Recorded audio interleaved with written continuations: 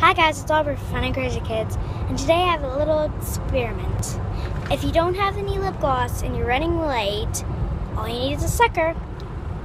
Lick it to get it all mm, gooey, and then put it on your lips. Rub it on your lips. Like this. And ta-da! Looks just like lip gloss. And it's a good flavor too. Leave a comment. Don't forget to subscribe. Bye!